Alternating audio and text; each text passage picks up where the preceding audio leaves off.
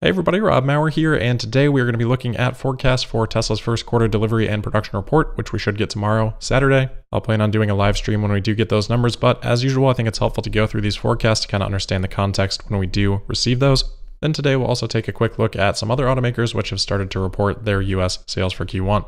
Quick look at the stock, not a whole lot to report. Another pretty low volume day. Tesla up two thirds of a percent to $1,084.59 to close the week. The NASDAQ on the day was up three tenths of a percent.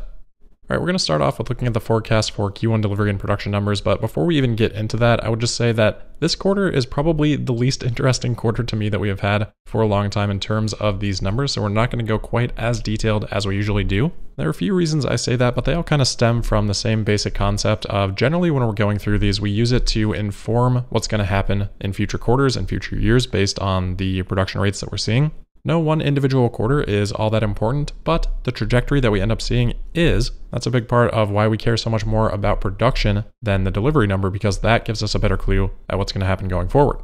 So, what we're actually able to learn here in terms of what that trajectory is going to look like from Q1 is pretty limited. We kind of already know where Fremont is at. We do hope and expect for increased output from Fremont, but because of how much Shanghai has grown, any increase from Fremont is going to just be a little bit less significant now and even more so going forward. So we can't learn a whole lot from that. As for Shanghai, we kind of already know where that is at because of the CPCA data. The big thing for Shanghai is when the next phase happens and how quickly that will get ramped up. And we'll learn a lot more about that in Q2 than we will from anything here in Q1. So that additional phase, that's going to be huge for the trajectory for the rest of the year. And then of course, in addition to that, Giga Berlin and Giga Texas. It's awesome to see them finally starting production at those factories, but what we can learn from that from the Q1 numbers is next to nothing. So most of the things that are going to influence how the rest of the year stacks up, we don't get much information on those things from these numbers. Now for the Q2 numbers, that'll be a completely different story. We should be able to learn a lot from those. In addition, for Q1, we know there have been significant supply chain challenges. We know there has been downtime. Both of those things make it a lot more difficult to extract Tesla's actual progress for example, let's say these numbers significantly beat expectations. Well, that probably means that we just overestimated downtime or overestimated the impact in the supply chain. Those would be good things, especially if the supply chain is looking good, but based on comments that Elon and Tesla have made, we expect that to improve throughout the year anyway, so it doesn't end up being something that we can necessarily learn a whole lot from. On the flip side, if Tesla misses, well, they were probably over impacted by the supply chain or had more downtime than what we were forecasting. Now, all that being said, that doesn't mean that I'm not excited to see these numbers. It doesn't mean that we can't learn anything from them. Certainly we will. It's just that this time around, these numbers are a little bit less informative than they would be on your average quarter.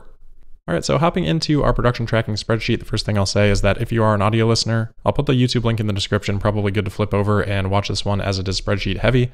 So looking at our spreadsheet here, just to refamiliarize people, the sections on the left, we've got total production and then weekly and daily production rates broken down by factory. And then on the right, we have it broken down further by vehicle model. So Model Y, Model 3, Model S and X at Fremont and Shanghai. The cells in gray, those are actuals. The cells in orange, those we have high confidence in. Most of that data is coming from China Passenger Car Association reporting. And then things in yellow, those are my own projections.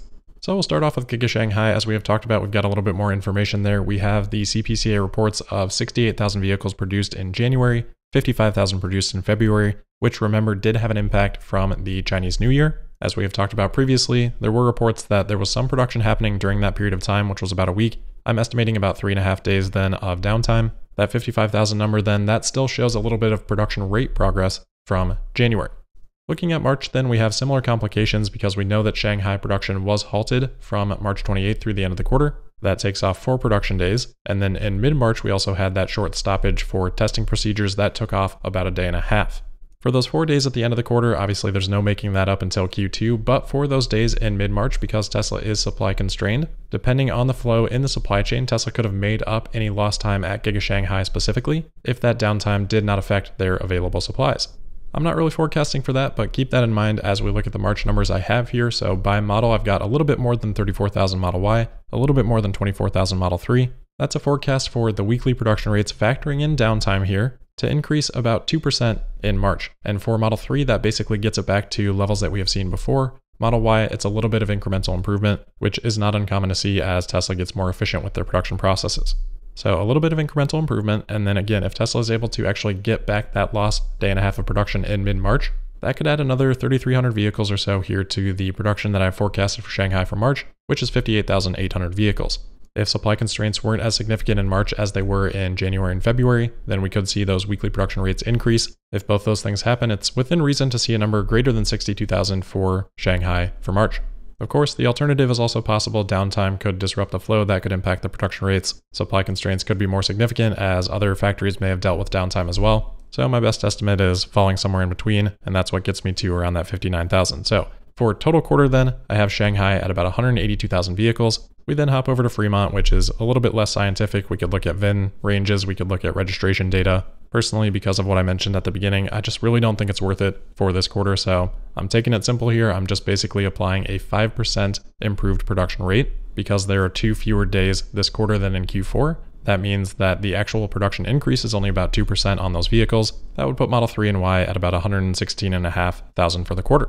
That would annualize to about 470,000 vehicles, which would still be a little bit below Tesla's stated production capacity of 500,000 in Fremont on Model 3 and Model Y. And we do know that Tesla does plan to increase capacity on those vehicles in Fremont over time, so I think that's definitely within reason. And then all that's left for Fremont is to add the S and the X. Last quarter we saw 13,100 of those vehicles produced. I'm not expecting a huge increase here. I'd love to be wrong on that and to see a number of 20,000 or more, but I am still expecting them to be ramping this up, so I'm putting in 15,000 there for now, about a 15% increase quarter over quarter, which is a relatively common ramp up percentage for Tesla. So altogether then that brings my total Fremont production number to 131,500. That's up about 5,000 vehicles from Q4. Then we just add those together and get our total production. But wait, not so fast because we have to add a column here for Giga Berlin and Giga Texas. We finally got some official production numbers there. Don't really know what they're going to be. I'm just putting in a thousand here. I'm not sure how much, if any, Tesla will count the Texas production, but that total is definitely within the margin of error on these other numbers. And Tesla's not going to break that out for us, so we'll probably never fully know. But bringing in that thousand vehicles, that brings my total Q1 production estimate to 314,800. That'd be about 9,000 more vehicles than Q4 or sequential increase of 3%. But remember, a lot of downtime and a shorter quarter year over year, up 75%. As for the delivery numbers, I think you all know I care a lot less about that number, but it is influential for the Q1 earnings report, which I actually do care quite a bit about, and I think we'll learn a lot from. But in terms of the deliveries here, I am expecting Tesla to increase their inventory, meaning production would outpace deliveries, primarily because the last two quarters and for the last five quarters, Tesla has drawn down inventory. It was sitting at an all time low of four days of supply, or about 16,000 vehicles to start Q1. That could go a little bit lower, especially as we did have the downtime at Shanghai in terms of production at the end of the quarter. That will inherently reduce inventory in transit as those vehicles just don't end up being produced. Because of that, I wouldn't actually end up being too surprised if deliveries did outpace production, but I also expect because of those lockdowns that Tesla probably had some difficulty delivering vehicles. So I do expect inventory to grow, but not by a whole lot, only about 2,500 vehicles. That puts my delivery number at 312,300. That would end up being about 3,700 more vehicles than Q4 for a 1% increase quarter over quarter and a 69% increase year over year, which I promise was not planned. So that's where I'm at. As I mentioned earlier this week, the analyst consensus as of Monday was 312,500 deliveries, so I would be right on that, but that was before the Shanghai shutdown. Consensus has definitely dropped a little bit since then. Goldman Sachs in a note today said that that was at 309,000. So I do think my estimate here would be a little bit ahead of expectations. I think that Tesla has room to beat these, but supply chain downtime could be more impactful than what I've got here. We'll just have to find out tomorrow. Goldman Sachs, by the way, since we do have their note up here, their estimate is 315,000, but they are hedging that to the downside, saying that, quote, the shutdown of Giga Shanghai during the last week of the quarter and the related logistics challenges in China imply to us that there could be some slight downside to our 315,000 delivery estimate, and that deliveries could end up being in line to modestly above the street at 309,000 per visible alpha consensus data. End quote. Another interesting data point that Goldman Sachs looks at is Tesla app downloads. They've looked at this historically and they've found a decent correlation between app downloads and quarterly deliveries. They say that, quote, moreover, Tesla app downloads suggest overall demand remains strong with app downloads up low single digits quarter over quarter and up significantly year over year, albeit with some geographic dispersion. App downloads as of March 25th are tracking down 1%, up 18% and up 4% quarter over quarter in the US, Europe, and China, respectively, comparing the first 11 weeks of first quarter 22 data with the first 11 weeks of fourth quarter 21. End quote. So mixing those all together, that would probably mix out based on that 18% growth in Europe to a little bit higher than what my forecast is. But again, the correlation here isn't perfect. It's more directional, and I think that direction would be pretty supportive of the ballpark that we're in.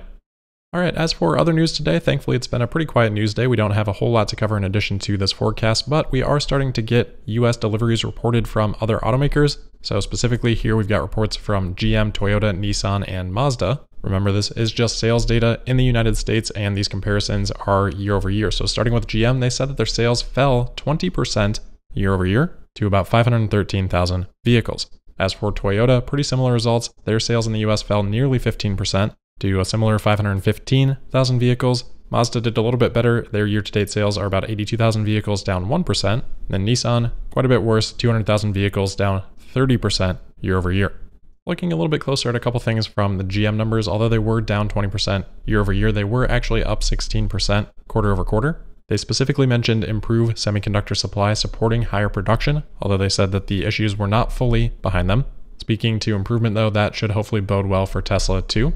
And then also, I found kind of interesting their estimate for the first quarter was that the seasonally adjusted annual rate was 14.1 million vehicles for the US for light vehicle sales versus 16.8 million a year ago. So they're basically saying that their estimate for the total US market is for it to be down about 16% for the first quarter. Finally, then for GM, we got to look at their EV sales as we know they are the de facto leader of EVs. They sold 457 this quarter. That was 358 Chevy Bolts and 99 EV Hummers.